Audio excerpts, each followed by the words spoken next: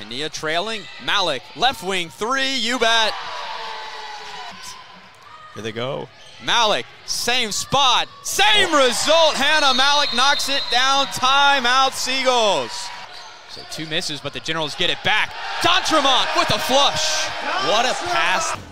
It's another Saturday inside the Old Dominion Athletic Conference. Today, the number eight Guilford Quakers hit the bus and come north this afternoon to face off against the Washington and Lee Generals in Lexington.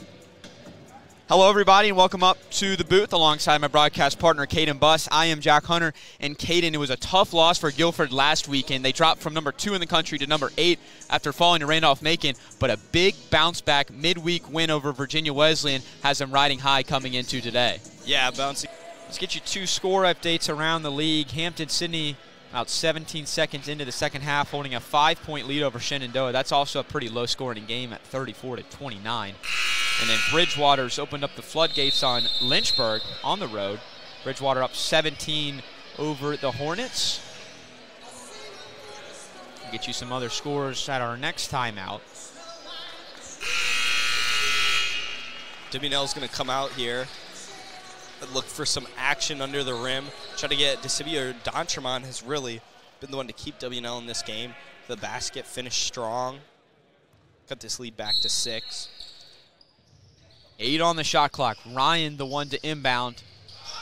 He's got to get it in. The Generals already called that timeout. Harrell drives. Gets it back with three on the clock. Harrell gets it again. Laughlin now this time.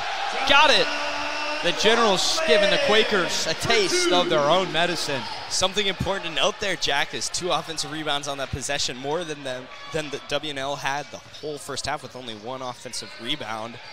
Finally getting some putbacks and was able to get a second chance bucket there. Birch, wraparound pass, Little John, a knuckling three, can't go, and DeCibio crashing the glass. Yeah, W&L really, DeCibio was there crashing the glass uh, along with Laughlin trying to get these boards is I'm sure that's something Coach Chris McHugh hammered down on the W&L team as you see a foul on the baseline. Luke Proctor, the one to commit it, and he's biting some of his jersey right now because the Quakers had DeCibio off that short roll in a pretty good spot in the short corner, trapping him, but now the Generals with 20 on the clock will get a run of play. Into DeCibio, a lot of daylight, and he nails it! DeCibio finally got an open look, was able to knock it down as Generals cut this lead to three points, which is the, the lowest lead that the Quakers have had this whole half as they force a turnover. W&L has something going. DeCibio in between the circles now. Laughlin tries to get into the post, but Birch cannot save it as he's going for the steal. Yeah, it looks like at the beginning of this half, they're really trying to play this ball through DeCibio, whether is a distributor or a scorer, as you saw knock down the three earlier. He's trying to pass as the Guilford defense is really surrounding him and D'Entremont. Guilford got the first bucket of this game and has not looked back. Harrell, far corner.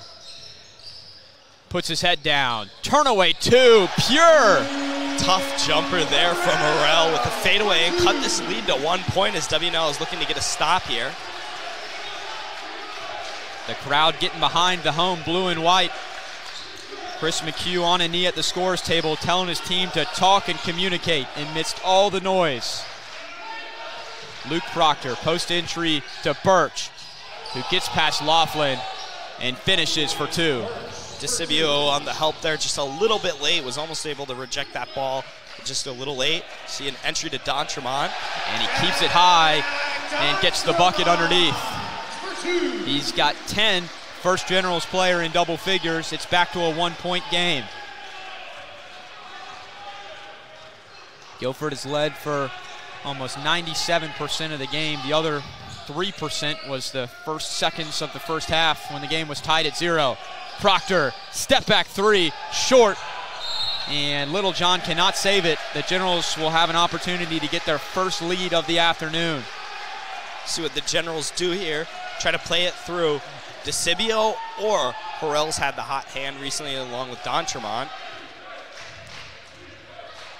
as Colin Ryan brings it past half court. Luke Proctor guard him tightly. Birch has his hard. McHugh wants a foul, not going to get one. Harrell trying to turn the corner. Step back from the free throw line short, and Dearman collects the rebounds. These refs are really letting them play and not calling much, even though it's a physical game, not calling much on either side.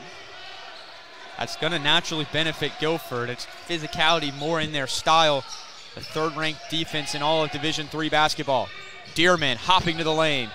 Little John, one more to Proctor.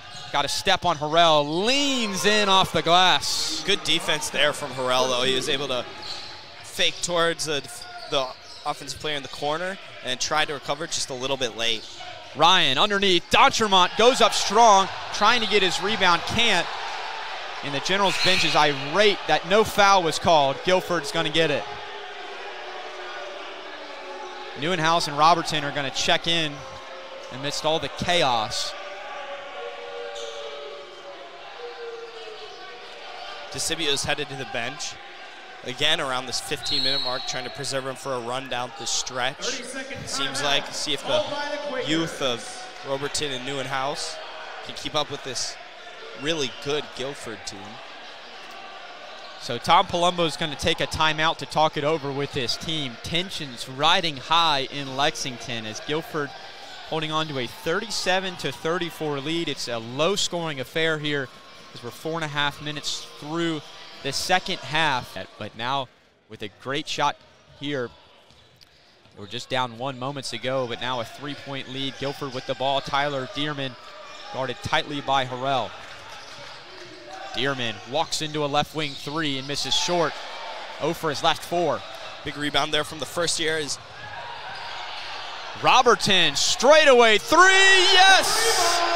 How about the rebound from the first year and then the three-pointer from the other first year on the team to tie this game up at 37 after being down 18 to 5 at the 13-minute point of the first half.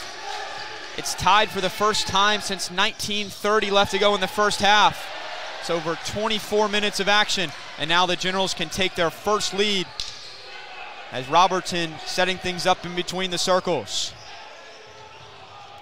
DeCibio and Thomas are at the scores table to check in. It looks like DeCibio got his rest.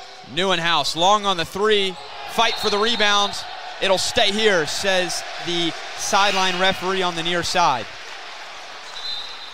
Crowd is ecstatic about that call. They haven't been happy with the refs this whole all game. Looks like they're happy with this call. They're finally getting into the game here.